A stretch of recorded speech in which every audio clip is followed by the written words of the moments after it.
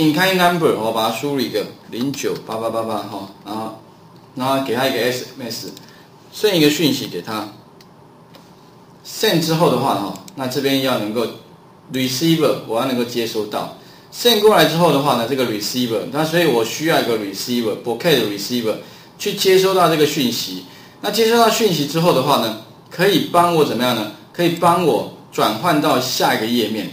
那下一个页面的话，就是另外里面会有一个，里面会有一张图哦。哎，这个啊线啊，应该是 send 这个，下面是 GPS 啊，应该按这个，上面这一个 OK。那如果线过来之后的话，就会有一个。那实际上啊，第一个哈，我们要做一个 bouquet receiver，另外的话呢，要另外一个页面能够切换过来。所以基本上哈，我们要做的第一个这个专案部分呢，它的结构啊。我们先来看一下那个 interface 部分，我们需要两个类要。预设的话只有一个 main，那这里的话呢，如何新增第二个啊？第二个这个 layout，那这个 layout 的话叫 images，image，OK。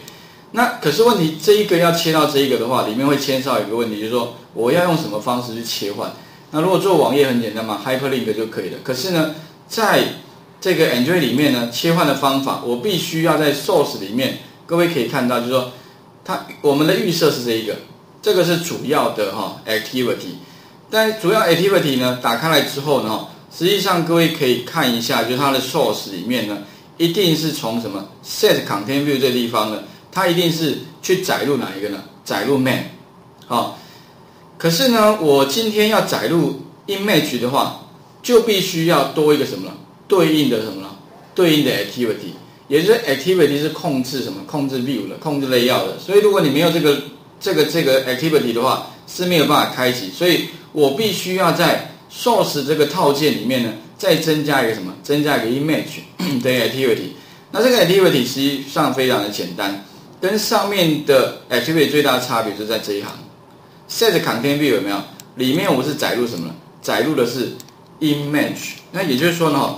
其实，如果我们没有牵涉到那个 bouquet receiver 的话呢，如果将来要切换，就很简单，你就第一个建一个 layout，第二个呢再建一个 activity。那这个 activity 里面的话呢，就怎么样呢？这个地方把它改成我们要载入的这个 view，然后呢再去怎么样把这个开起来。